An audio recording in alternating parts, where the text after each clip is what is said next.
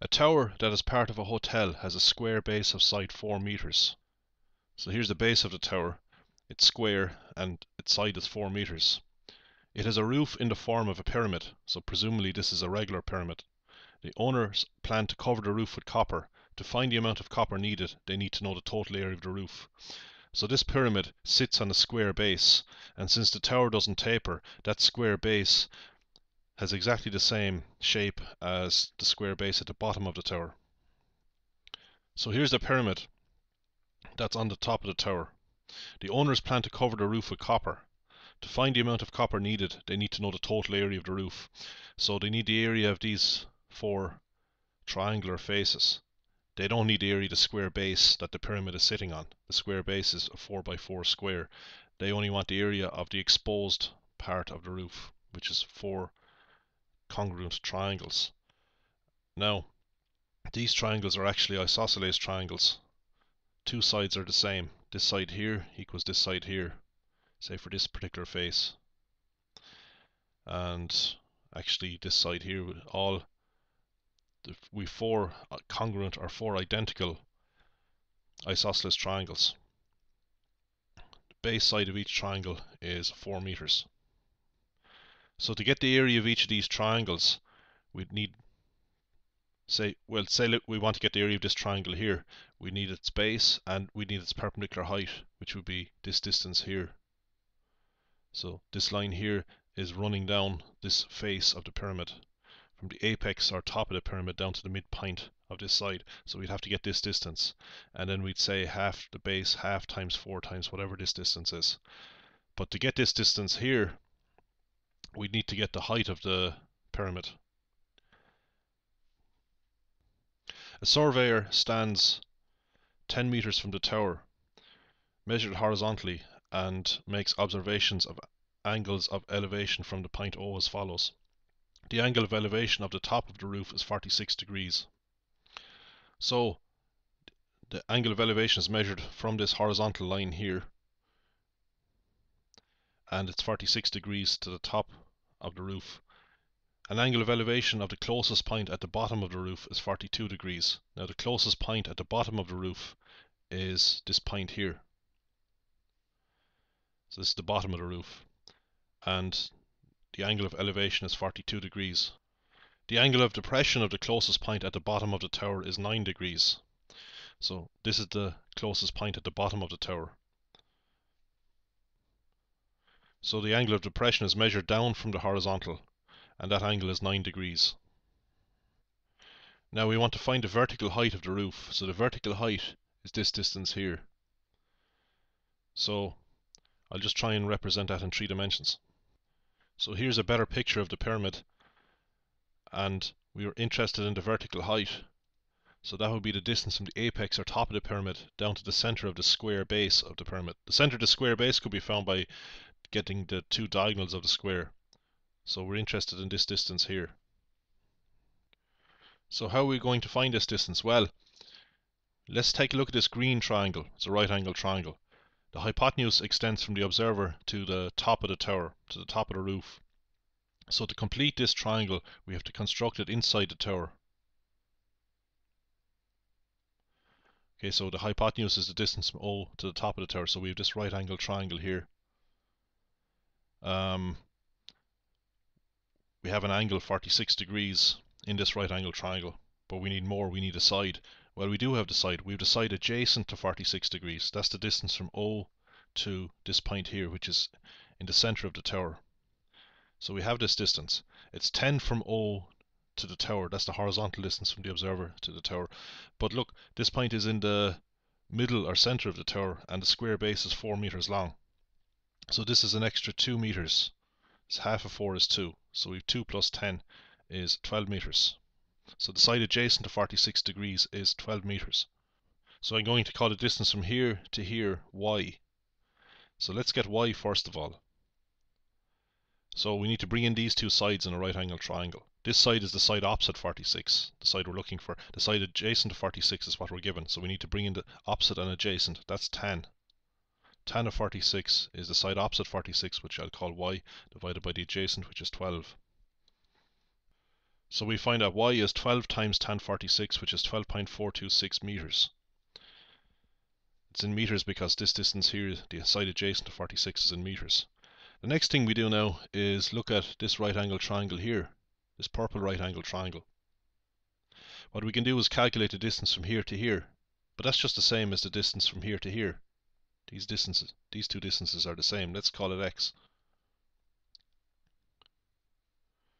So we have an angle of elevation of 42 degrees from O to the nearest point at the bottom of the roof and the side adjacent in this is 10.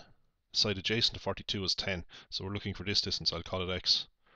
So in this right angle triangle we see that tan of 42 is opposite over adjacent x over 10. So x is tan 42. To three decimal places that's 9.004 meters. So now we can find the height of the tower y is the total distance, side opposite 46 degrees in the green triangle. So the height of the tower, this distance here, is just got by uh, getting y minus x. So I'll write that up here. h is equal to y minus x, which is 3.422. The next question I want to do is to find the total area of the roof. So as I explained to you earlier, that's the area of of four triangles, the four congruent or equal triangles that make up this pyramid. So we're not interested in the square base. Let's get the area of one of these triangles. How are we going to get the area of this, this triangle here, say? Well, we see that its base is 4. We could call that B for base. If we want its perpendicular height, we need to get this distance here, as I explained to you earlier. That's the distance from the this top or the apex of the pyramid down to the midpoint of the base. And because this triangle is isosceles, that's, that means the two sides are the same. This line here from the apex down to the midpoint of the base is actually perpendicular to the base. Okay, because of the symmetry of this isosceles triangle. So this distance here from the apex to the midpoint is the perpendicular height of this triangle. So how do we find this distance, this blue distance? Well, we notice that we can complete a right angle triangle inside the pyramid.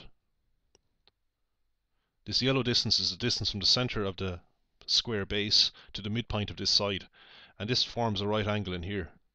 So that suggests Pythagoras' theorem. So we look at this right angle triangle that's inside the pyramid. The height of it is just the height of the pyramid, which we got to be 3.422 meters. The distance from the center of the pyramid to the midpoint of one of the sides is 2. 2 is just half of 4. This yellow line, by the way, is meant to be parallel parallel to this side here. So we have a right angle triangle with two short sides given and we just have to find the longest side. I'm going to call the longest side capital H. It's the height of this face of the pyramid. So we see that H squared, H is what we're looking for, equals the sum of the squares of the two shorter sides.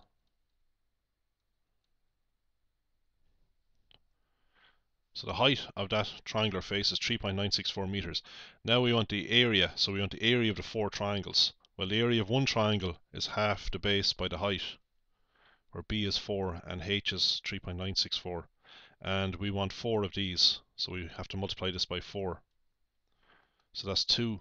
4 times a half is 2, times the base, which is 4, times the height, which is 3.422.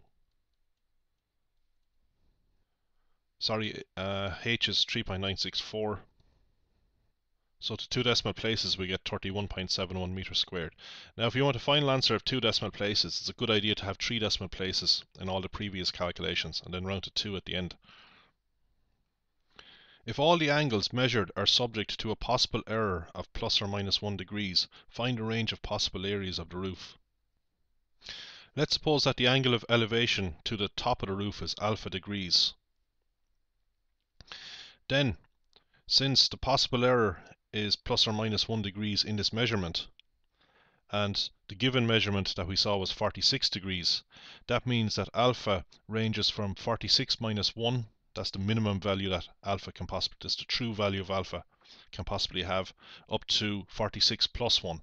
That's what's meant by possible error of plus or minus 1 degree. So whatever measurement is made, for 46 degrees in this case, the true measurement is within 1 degree is within 1 degree of 46 degrees, which means the true measurement is between 45 degrees and 47 degrees. It's the same situation for beta, because all the angles are subject to this error of plus or minus 1 degree. So whatever was measured for beta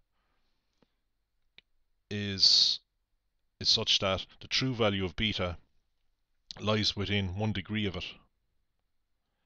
So the true value of beta lies between 42 minus 1, which is 41, and 42 plus 1, which is 43 degrees. So that's what's meant by this statement here, about all the angles being subject to a possible error of plus or minus 1 degrees. Notice, by the way, that the angle of depression doesn't actually come into this problem, at least not so far. We don't need to worry about the angle of depression. So we can forget about that. That's probably useless information that we don't need. Anyway, how is the variation in alpha and beta going to affect the height of the roof? So we need to consider the height of the roof before we can consider the area of the roof. So the height is going to affect the area. So this height here is going to, to affect the area because the square base isn't changing. The only thing that's going to vary is the height. And the area of the roof depends on the height. It was 3.422 as we saw earlier. You should see that the height of the roof will depend on this angle here. That's the difference between alpha and beta. When the difference between alpha and beta is greatest, then the measured height of the roof will be greatest if the difference between alpha and beta is a minimum, then the measured height will be a minimum. So we need to maximize the difference between the angles, maximize alpha minus beta.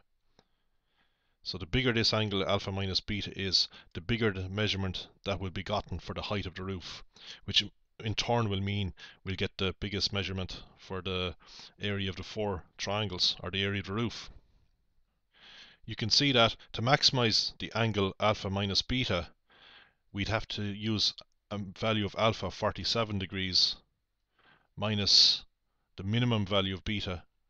The minimum value that beta could be is 41 degrees. So the maximum value of alpha is 47, the minimum value of beta is 41. So that's just that that combination will give us the maximum value of alpha minus beta. Now we're not actually interested in the value of alpha minus beta. You can see here it's actually 6 degrees. We're not actually that interested in it. All we've got to do is repeat the previous problem, that was question 1, but use a value of alpha of 47 degrees and a value of beta of 41 degrees. That'll guarantee a maximum value for the height of the roof. So here's the situation for the green triangle where alpha is the maximum value that it can have. So the true value of alpha lies between 45 and 47. It's within one degree of the actual measured value from the previous part. So if alpha was 47 degrees, then we get the tan of 47 would equal y over 12, y being this distance here that you saw before. And the distance from here to here, as you saw before, was 10 plus 2. This was 2 because the square base was 4. So this is 2 here. So 10 plus 2 was 12 and we re rearrange that to get y equals 12 tan 47 which is 12.868 and then for beta which is the blue triangle we're interested in this distance here which is x which is the same as this distance here so we just do the same as before tan 41 is x over 10 so x equals 1041 which is 8.693 so if we want to find h we just as before we calculate y minus x, which is 4.175 meters. So that's the maximum height that h could have. That's assuming that alpha is indeed 47 degrees and beta is indeed 41 degrees. And from this maximum height we can calculate the maximum area that the four triangles can have. So to get A max we first of all have to get the area of one of these triangles. So we see as before we have a right angle triangle inside the pyramid. The height now is 4.175. The base of this is still 2 of this right angle triangle. So we just use Pythagoras' theorem to get the perpendicular height of this particular triangle, for, of this face. I'll round this height to 4.18. I'll round it to two decimal places. So we just apply Pythagoras' theorem to this right angle triangle. We see that h squared equals 4.18 squared plus 2 squared, just like before. And if we calculate h, get the square root of the sum of these squares, we get 4.634 to three decimal places. So now to get the area, the maximum area, we get the area of one of the triangles, which is half the base by the height. So it's half the base is 4 by the perpendicular height, which is h here, 4.634. And that's one triangle, but we've got four triangles that make up this pyramid, four identical or congruent triangles, so we just multiply 4 by that. Now we have to repeat all this for the minimum possible values that um, well, for the other extreme. Now the other extreme is the minimum height of the tower. What values of alpha and beta will lead to a minimum value of the height of the tower because we want a range of possible areas of the roof. So we first of all have to get the range of heights. So we got the maximum height, which is 4.175, but for certain values of alpha and beta, we're going to get a minimum value for the height of the roof. So we want to minimize this angle in here actually. Minimizing this angle will minimize the resulting height. But how do we minimize alpha minus beta? Well, if we take, let's see now, if we could take the minimum value of alpha and the maximum value of beta. The minimum value of alpha is 45 degrees. So that means you know, a sighting has been taken taken from O to some point that's probably more than likely below the apex. Not necessarily, there's a possibility that 45 degrees is the exact value for alpha, the exact true value for alpha. In that case, the line of sighting will be perfect from 0 to the apex. But more than likely, much more likely is that that sighting is going to be some point just below the apex, which gives rise to a value of alpha, a minimum value of alpha for, for the minimum possible value, which is 45. And similarly here for beta, well, if we want to minimize the height of the roof, we have to minimize alpha minus beta, which is the same as maximizing beta. So that might correspond to taking a sighting to a point that's a bit above. More than likely, we're going to be sighting some value, uh, taking a sighting to some point that's above the lowest point of, of the roof. So in that case, beta is a maximum, so we have to make this 43 degrees.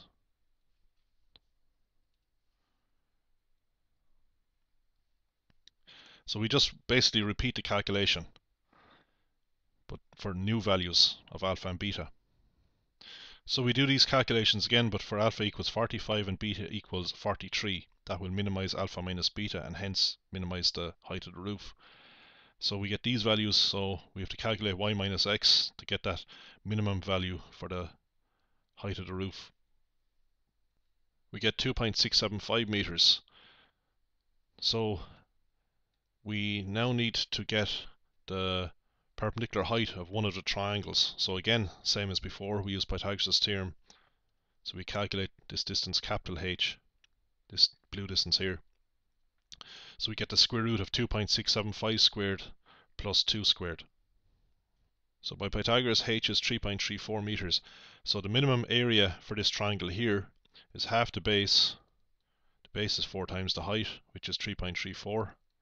And as before, we've got four of these congruent triangles. So here's the range of values of A. So A, the absolute minimum value that A could have is 26.72 meters squared, and the maximum it could have is 37.07 meters squared.